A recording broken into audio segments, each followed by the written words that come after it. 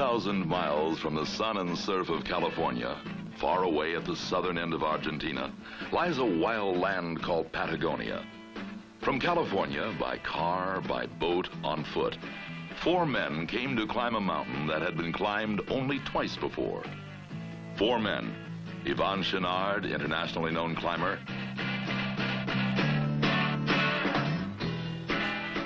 Doug Tompkins, climber, skier, surfer,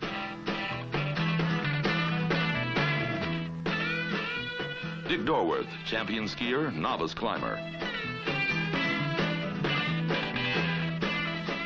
And a young English climber, Chris Jones.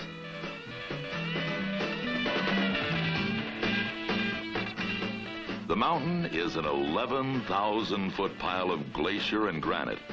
It's got sheer walls, cliffs of ice, wild wind, and bitter cold. It's called Fitzroy, and their objective, the summit.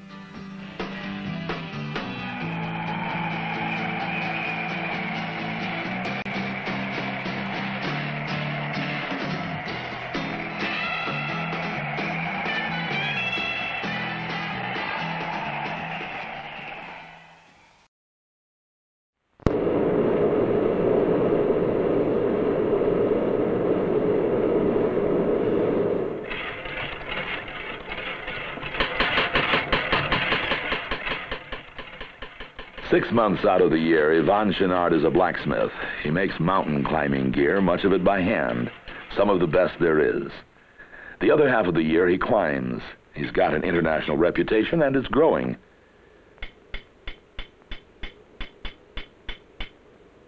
The shop's about to close because Yvon and his friends Doug Tompkins and Dick Dorworth have an appointment with a mountain called Fitzroy, far south in Argentina. It'll take months in a second-hand van just getting there. Along the way, there'll be surfing and skiing. Well, let's go. Running, run, run, run, run, run, run, running,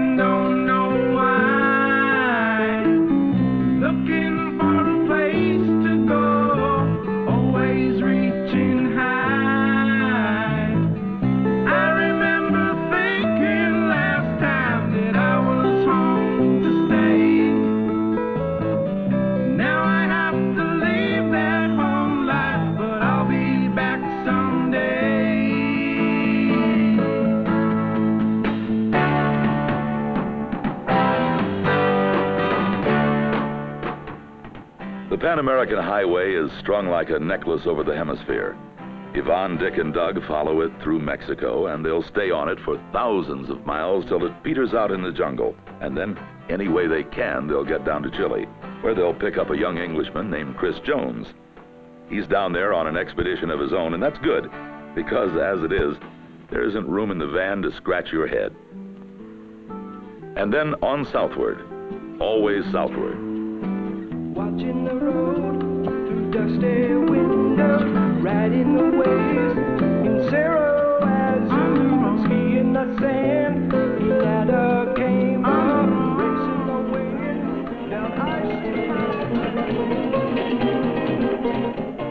Once out of North America, the cities and towns are as bright and loud as jungle birds. Guatemala City, where pineapples are a penny each. San Salvador, Managua, Nicaragua, San Jose in Costa Rica. Dick Dorworth's only begun to climb this year. He's listened to Doug Tompkins and Yvon talk about the Argentine expedition that recently climbed Fitzroy, and he's impatient to get on with it. But South America demands patience. Down here, the clocks don't run, they walk. South of Panama City, the highway loses itself in jungle. So for two weeks, they kill time, waiting for a boat to take the van across the Caribbean to Colombia, where the road starts again. A haircut can save trouble at South American borders, and there are a lot of them to cross before they get to Fitzroy. In the marketplace, Doug Tompkins has his fortune told by a brightly colored little bird who chooses a message just for him. Su familia pensia en usted. Your family is thinking of you.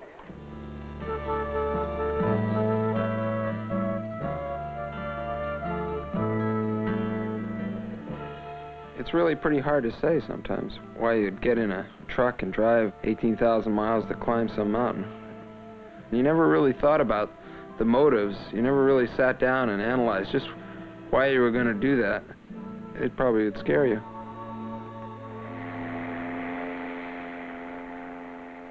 From Colón in Panama, the boat crosses to Cartagena in Colombia.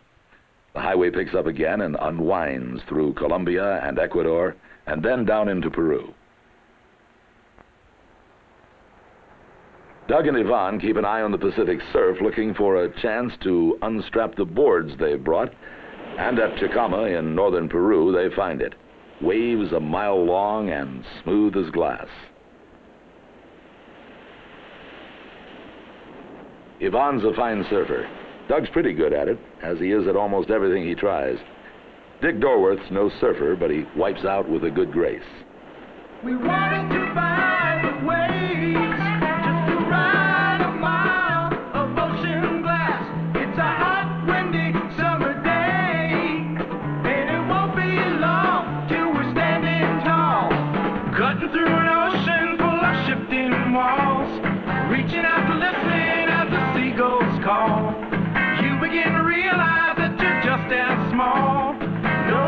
knowing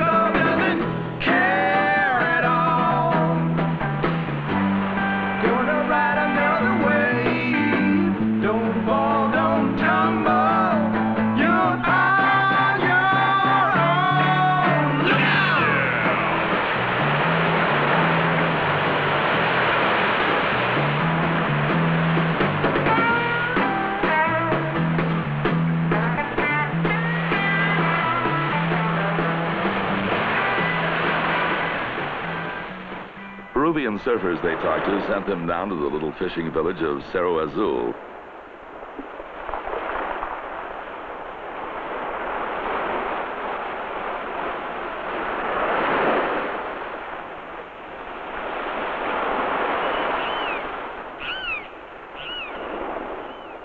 Across the bay, seabirds watched as Doug and Yvon decided to see what would happen if you went with the wave under that long pier. Maybe you'd come out the other side still standing up.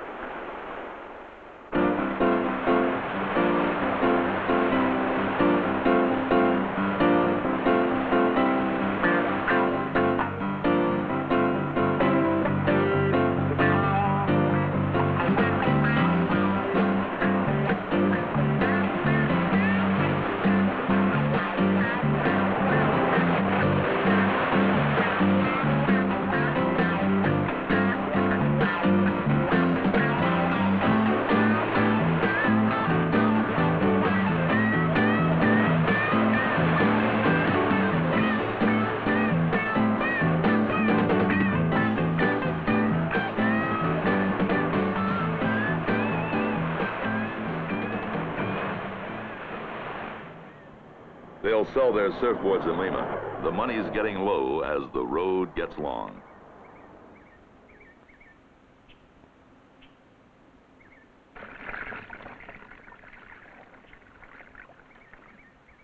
South America can be hard on a van that was showing her age when she left California. 10 or 15 flat tires later, and even after a complete engine overhaul, she still needs some encouragement from Yvon.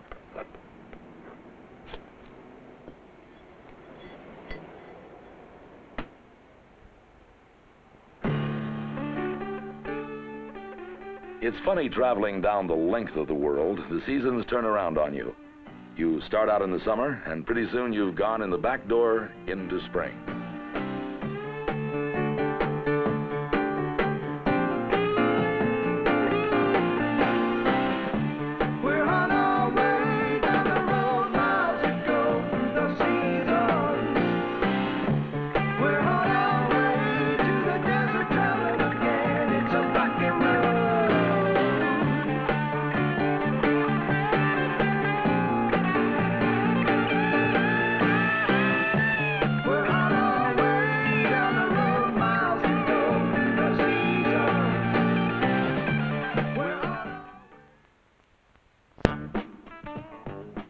Americans, the Peruvians said, are gluttons for fun.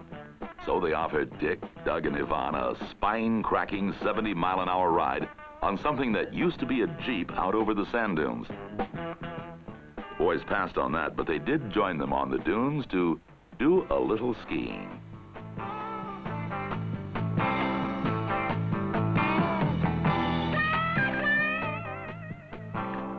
The Peruvians tried to show them how, but Dick Dorworth is an expert skier, a champion, and he started teaching them. Instead of just scooting down the dune, try some of these link turns.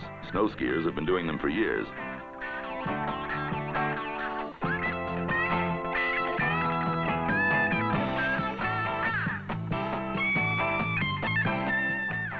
They tried them out, but what they really liked best was just speeding straight down as fast as they could. And Dick could understand that because it was down here that he once set a world speed record on skis.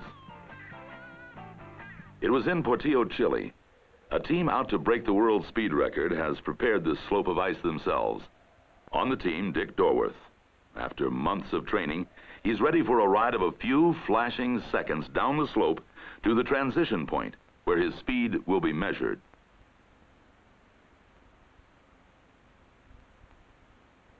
The main thing to do is to keep your body very low and keep very far forward, you know, or like an egg. You must maintain balance at, at all costs. When you start at Portillo, it's a commitment that there's no retreat from.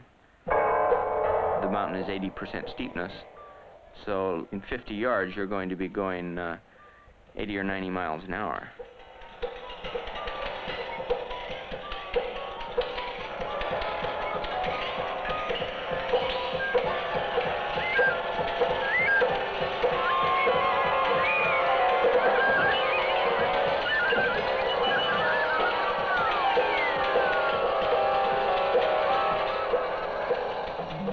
That's it. 106 miles an hour to set the record. I haven't run for speed for quite a while now, but because of it, it has enhanced my pleasure skiing. I have much more fun skiing now than uh, I ever had then. Then try this, Dick. Mount Llaima in Chile. A live volcano, its smooth lava slopes neatly snowpacked, maybe the longest ski run in the world. It's like five ski slopes, one on top of another. From the little lodge at its base, it's an eight-hour walk to the top. Yes, a walk. No lifts, not even a rope tow. This is skiing as it was in the beginning, when you climbed as high as you could, skied as far as you'd climbed, and then went home.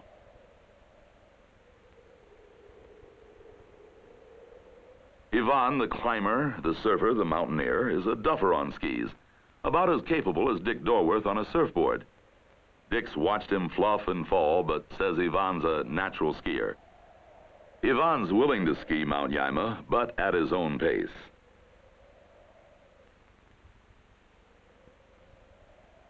Near the top, the sulfur fumes are thick, the rocks are warm, and the volcano is breathing quietly in its sleep. Doug? The wind was blowing hard from the north.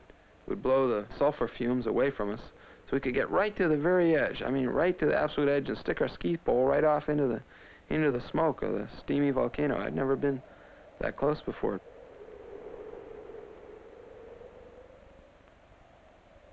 It's the slope that skiers go down endlessly in their dreams.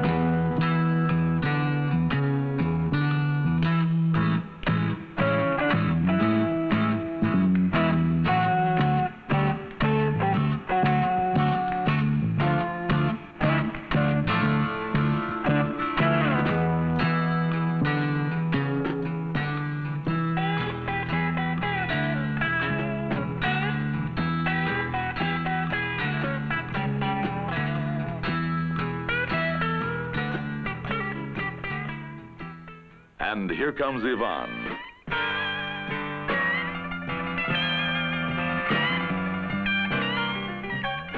all the way down the mountain. It was just one fall after another, and finally I just gave up trying to ski it, and I'd just make a traverse, and then I'd, I'd kick a turn, and then I make another traverse, and I kept doing that for 5,000 feet.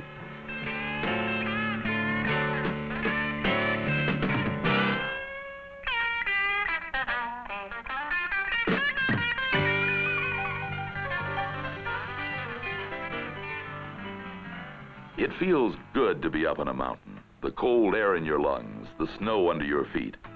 There's another reason for the skiing, though. Their summer softened bodies are toughening up for the snows of Fitzroy.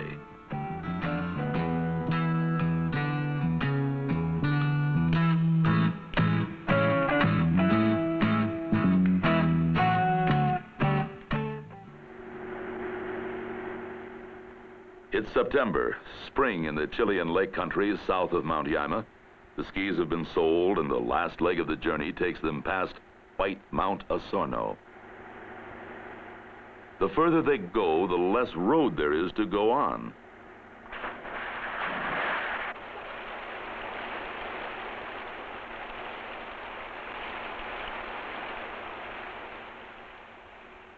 Here the Andes step up and out of Chile and down again into the Patagonian desert in Argentina. The only way over the mountains is by hopscotching from lake to lake on little ferries.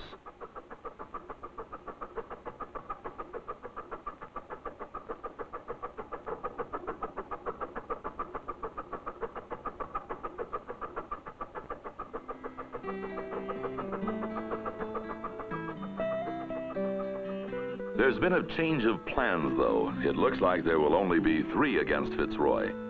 The young Englishman, Chris Jones, didn't show up at the meeting place, and after a few days' wait, they've decided to go on without him.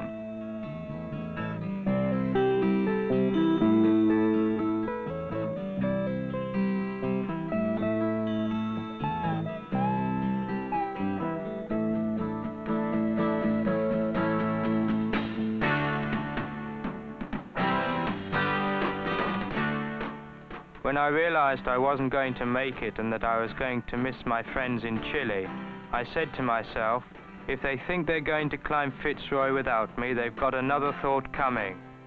There's only one road from the north across the Patagonian desert that takes you to Fitzroy, so I decided to hitch a lift to a point I knew they'd have to pass, and I was prepared to sit there all week if necessary, waiting for them.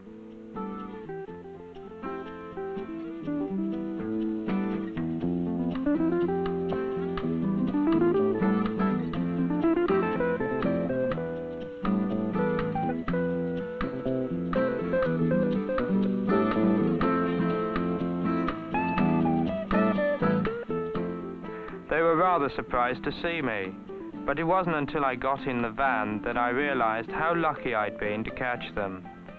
What if I'd fallen asleep or it had been night or something, and they'd simply driven straight past me? Then where would I have been? Not on my way to Fitzroy, that's for sure.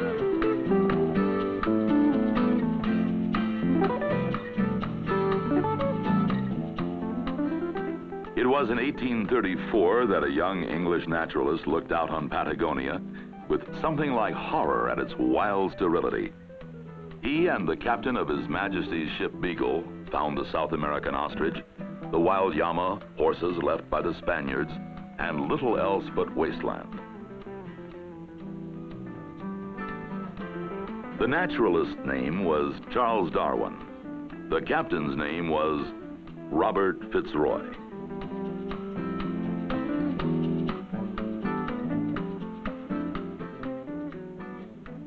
From 60 miles off, you first see it. Blue with distance, but harsh, defiant as a clenched fist. This is what you've come for. And from here, it doesn't look difficult to climb. It looks impossible. But first, there's some 60 miles of Patagonia to cover. The Rio de las Vueltas, the River of Turns, to cross. And then the road gives up for good.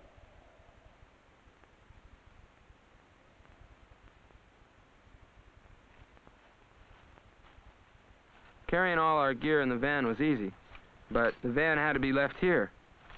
Pack horses are the only way to get to the mountain, and then our own two legs. So we thought very carefully about what we would really need.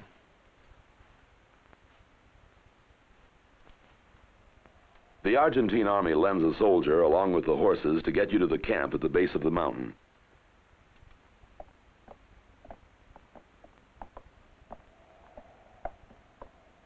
As far as anyone can remember, it was Doug who first said, let's do it. Let's climb Fitzroy. He's in its shadow now, a happy man.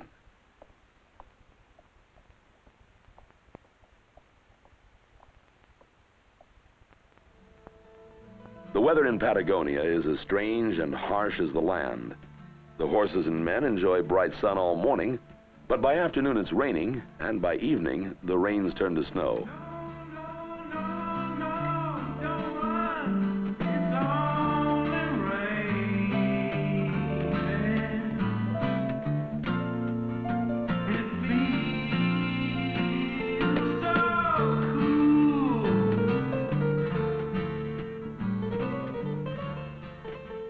Campsite was established by the French in 1952 and used again by the Argentine expedition some years later. They hurry to set up some shelter, wrestling bags and gear in the wet cold. A little taste of what's to come. But by the next day, Patagonia's changed its mind. The weather's fine again. Doug and Yvon will scout the first part of the route, comparing their charts with the reality, while Dick and Chris finish setting up camp.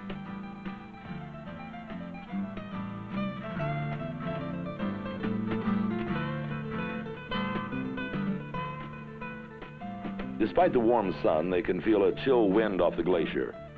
Up there, Doug and Yvon are striking the first blow against Fitzroy. Fitzroy is 11,289 feet high. Not the highest mountain we could find. But as every climber knows, the challenge of the Patagonian mountains isn't necessarily height. It's the technical climbing difficulties and the weather.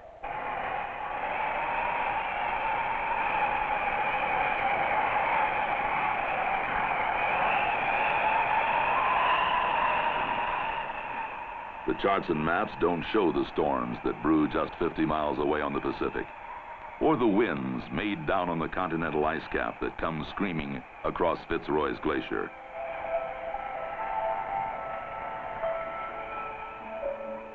Doug and Yvon scout their planned route, and it looks possible if the wind and weather will let them take it. By late afternoon, they've surveyed as far as a place for a first camp on the mountain.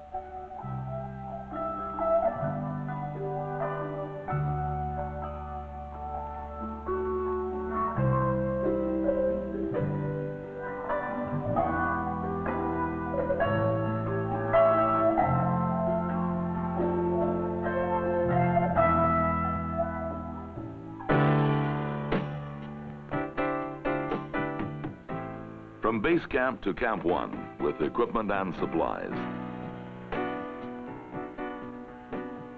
Each of them carries an 80-pound load. No one knows how much time Fitzroy will demand of them, so day after day they haul and carry like pack animals, making kick steps up the steep snowfields, sunburnt, bone aching, exhausted. The mountains are peaceful when the morning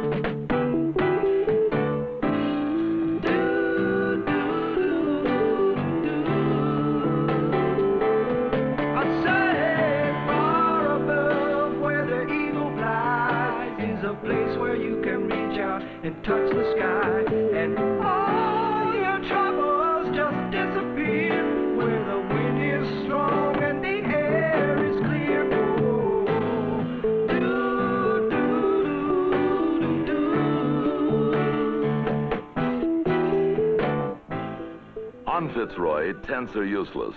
The wind would snatch them away like rags. The only security is in a cave dug into the ice. Inside, it's wet, cramped, dark, and cold. But it's quiet out of the wind. And at night, it's a lot cozier than anything you could find outside.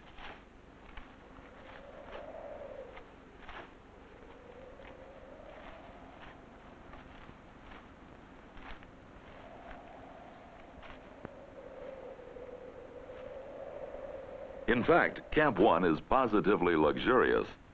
A rock outcropping with a view where you can sit and dry your ice-soaked clothes in the sun. A visitor, an Andean condor, soaring on its 10-foot wingspread. This huge bird is really a vulture, and you wonder if you're being filed for future reference.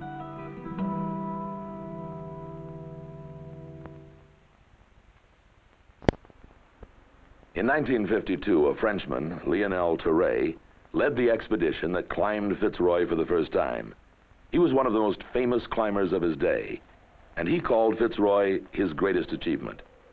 But the time is now, and beyond these snowfields, there will be the first real climbing.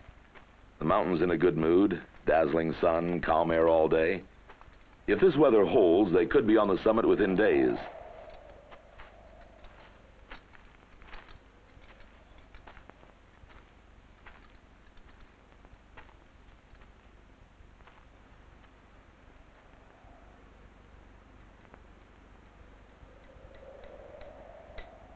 The first vertical pitch. Yvon is in the lead. The rope around his waist is belayed by the man below him who will hold him in case of a slip. This is aid climbing, where there are no hand or footholds, and you ascend on aid slings, foot straps that are a kind of movable ladder. Climbing is a kind of mathematics of danger. Each problem is an equation of rock and muscle, and a wrong answer could mean a fall.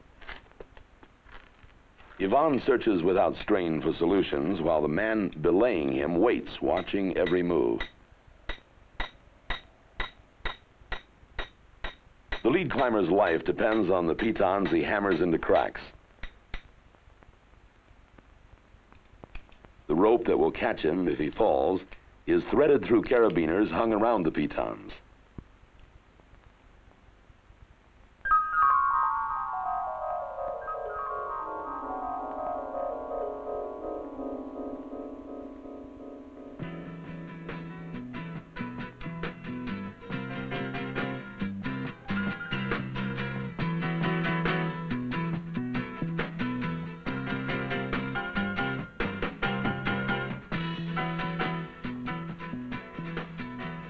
Alpine type climbing is a whole mountain full of different problems. Rock walls are one, snow is another. No pitons here. You drive the shaft of your ice axe into the snow and use it for balance while you make kick steps.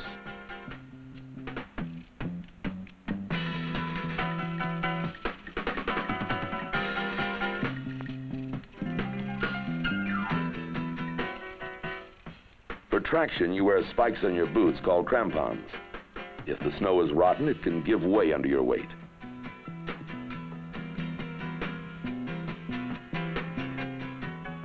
After Yvon has fixed a rope, Dick Dorworth, the junior climber, uses a mechanical ascender called a Jumar to climb the rock face. A gear allows the Jumar to move up the rope, but not down.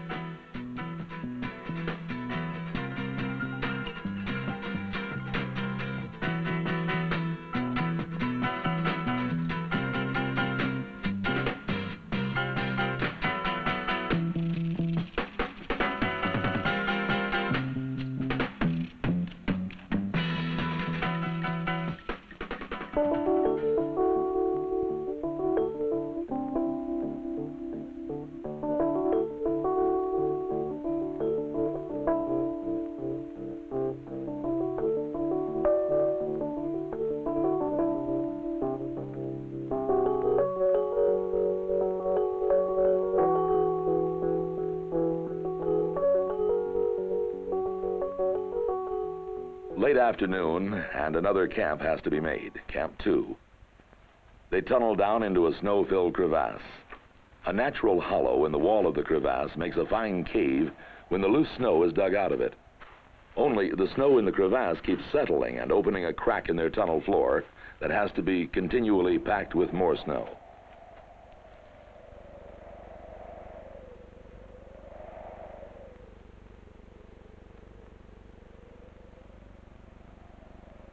Fitzroy's mood is changing. Storm clouds are moving in fast. The winds are mounting, the temperature is dropping, and by the next day you're buried in snow.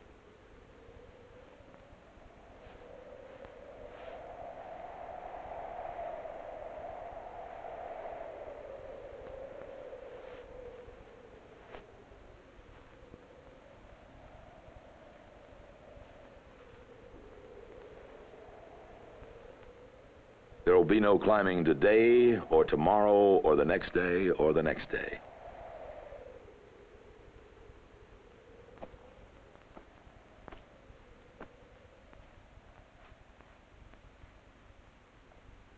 In here, four men sit in the murky half light and look at each other, and the floor keeps opening up. Outside, the mountains wrapped in storm, the winds at gale force, and the temperatures way below freezing. Dick, each day became the same, day after day. You can read so long, and you can talk about things so long, and uh, you can think by yourself so long. You learn your own rhythm of doing things.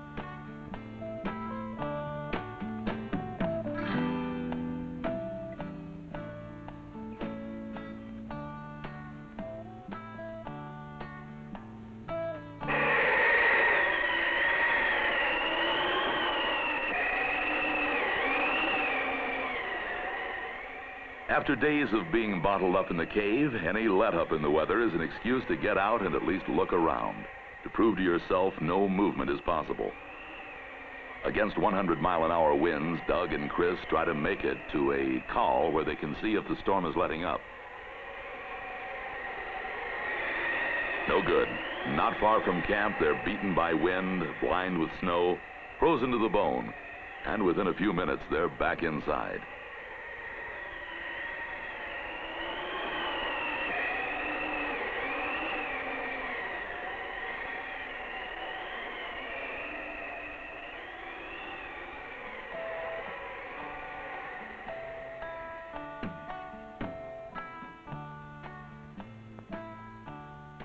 Track of the days. One said it was 15 days they were nestled in the mountain, another said 18, another 20.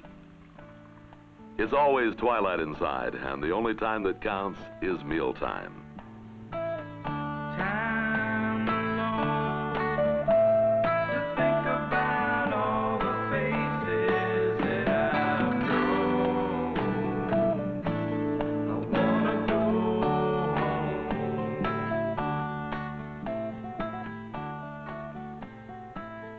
Soup that gets thinner and thinner, and they tell tales.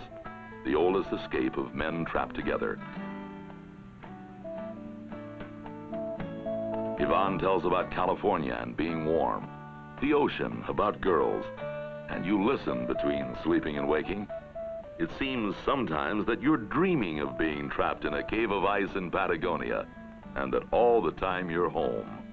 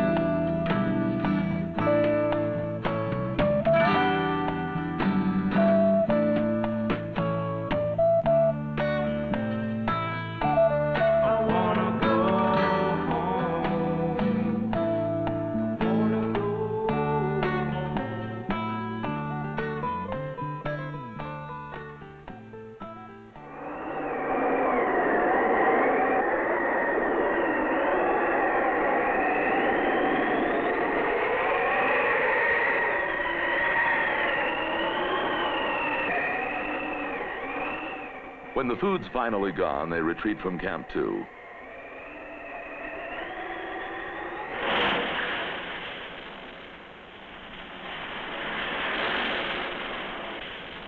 If it had been any storm but a Patagonian storm, Yvon might have suggested going on with the climb. Whether we climbers want to admit it or not, 90% of the times that we retreat from storms, we could have gone on and just climbed right on through. Most storms in the mountains are merely uncomfortable. They, they won't kill you, but on Fitzroy, these storms are a different story, and you knew you had to get out of there. After weeks of being caged in ice, even going down seems like progress. In the face of the storm, they rappelled down the walls they climbed up, foot by foot, all the way back down to base camp.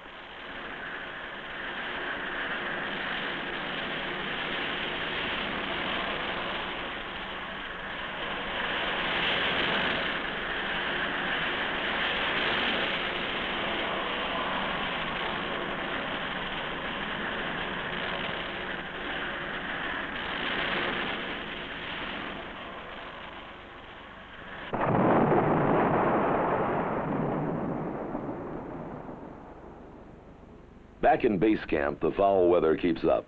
Chill rain, snow, high winds. For nearly a month, there's nothing to do but scavenge and try to keep warm and kill time.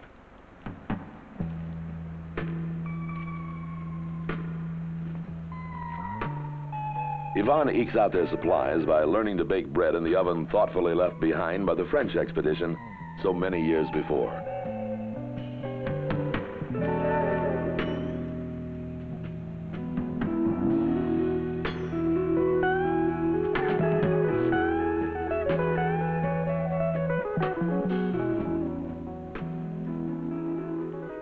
Suddenly one evening the clouds have shattered, the sky is red, and as every climber knows, red sky at evening means fine weather in the morning.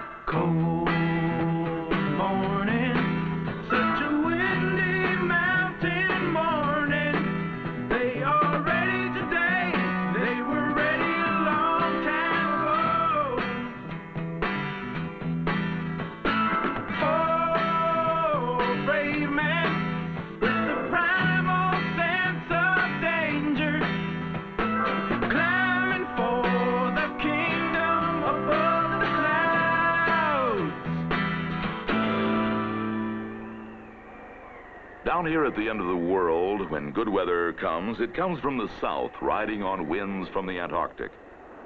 Up on Fitzroy, day comes wrapped in clear, inhuman cold.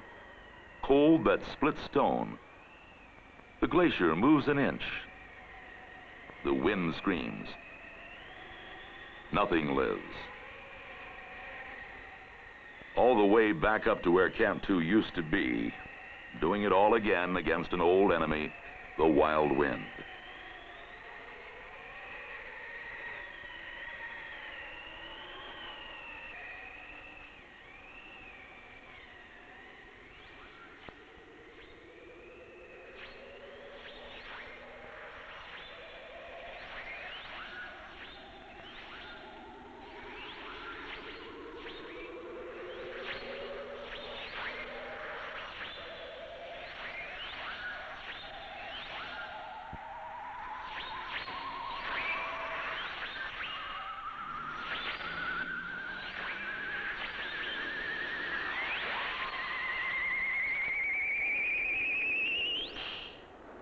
It took us over an hour to find Camp 2. It was buried under at least 20 feet of new snow.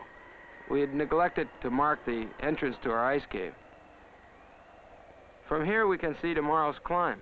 We can plot an imaginary line of 2,000 feet of frozen granite.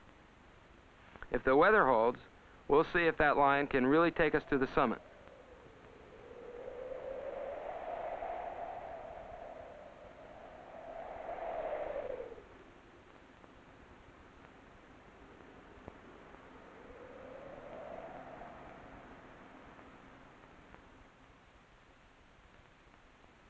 Two thirty a.m. Yvon leads the first pitch. The mountains are very silent and ominous this early in the morning. You have a lot of fear because fear of the dark, for one thing, and fear of sticking your neck out. Anyway, early in the morning, there's just no brave men early in the morning. The pre-dawn cold is intense, but fingerless gloves are necessary. Bare fingertips can find a hole where gloves would slip. You try to rub some life into frozen fingers while you plan the next move.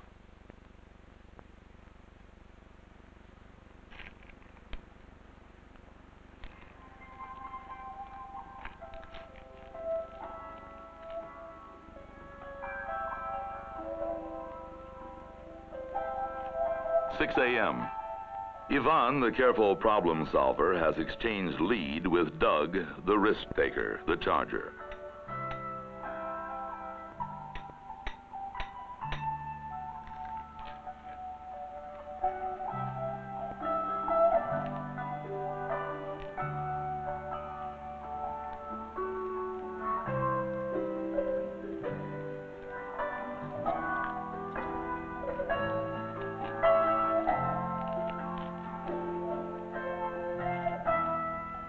Their scouting led them to believe that by this time, the climbing should be getting easier. It's not. Above each crest, they find new walls. But the granite is good, rough-surfaced, and cracked, and they move fast for a rope of four. Doug and Yvon are the climbing team. Chris Jones and Dick Dorworth are the hauling team. Between the four of them, even when the handholds turn to finger holes and the footholds become almost non-existent, one way or another, they keep going up.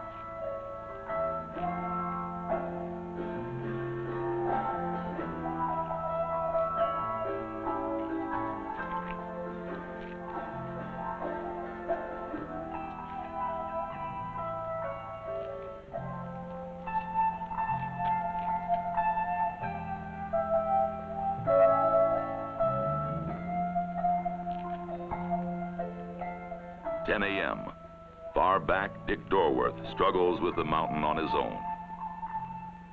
Most of the climb, I was the last man. I was always hustling to get up to them so they'd have more ropes to use. Usually, by the time I would get to the top of a rope, the rest of the guys would have gone on and left another rope for me. So very often I was just alone. I'd get to the top of a pitch and I'd have to coil the rope I'd just jumarred up and uh, get on the next rope and go up that. A lot of times I would get behind everyone else and I would find myself alone on the side of Fitzroy. Sometimes it uh, started to get to me, but I never dwelled on it. I just uh, got on my Jumars and Jumarred up the rope, got on the next rope and Jumarred up that.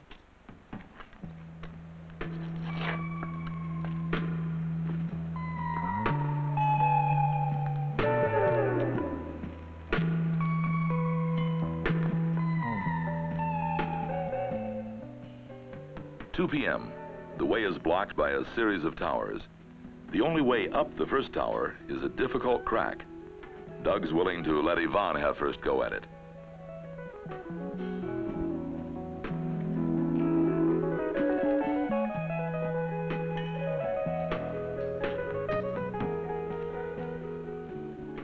Yvon, the graceful, the climber who never seemed to show strain even at the most difficult points. In the end, fingers numb, boots frozen hard as iron, all his expertise depends on the strength of his arms and his legs and his will.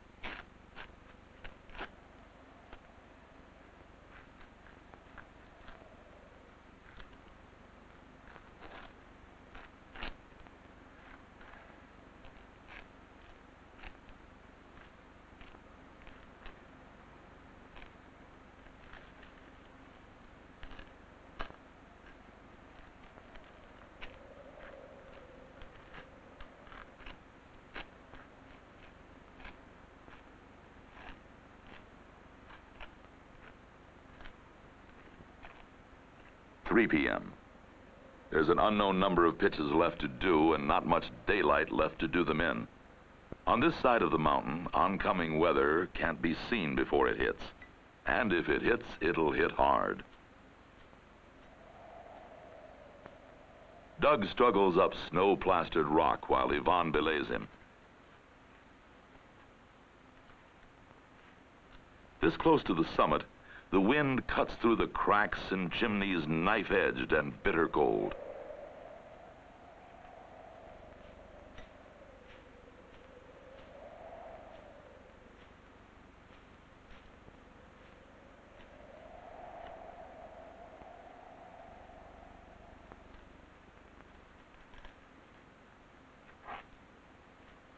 A chimney is a crack wide enough to get into.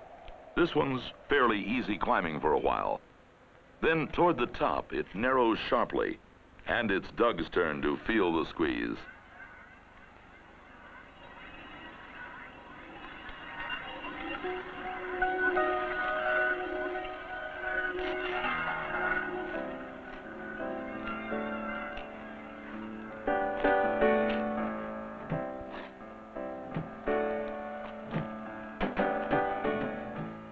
Crack's wide enough for your hand but offers no lip to take hold of, you jam.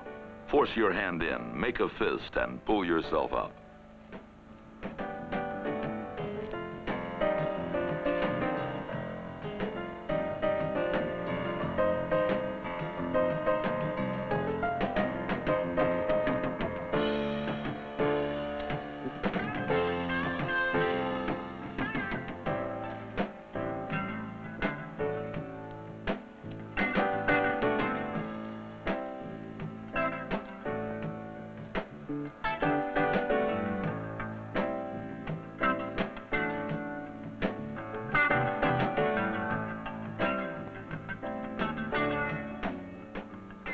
Five p.m.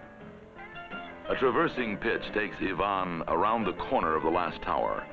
Beyond him, he can see the snowfield that leads to the summit. That snowfield has to be reached before the light fails. To be caught up here at night in the storm that could come at any hour would be death.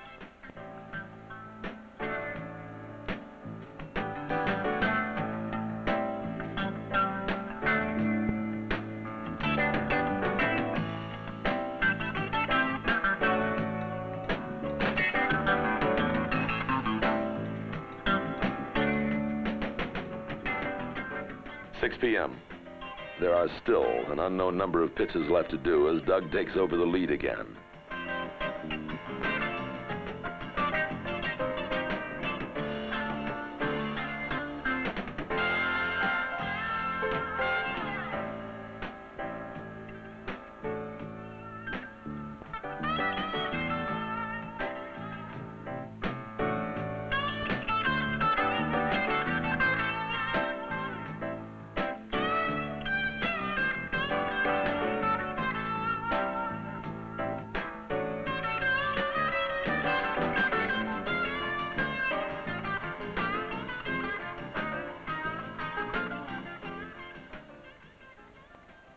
That's it.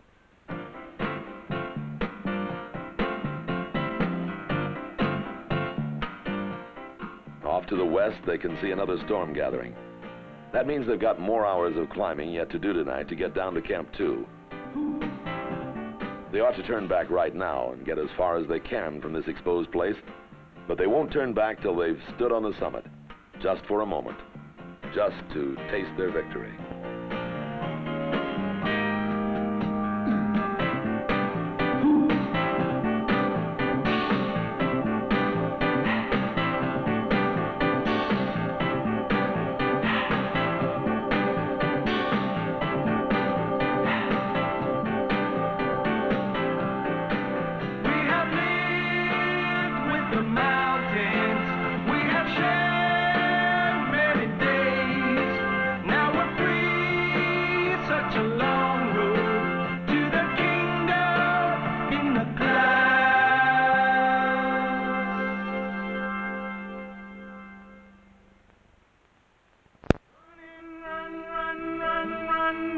Run, run, running, don't know why.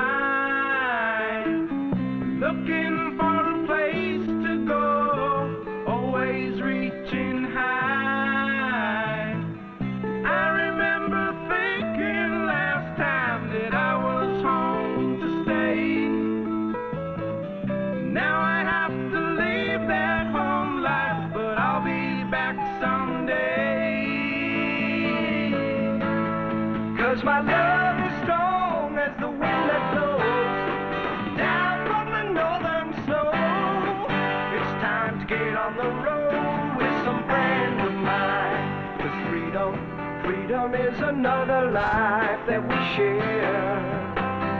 South to the border, stopping where we may. No one cares how we spend our days.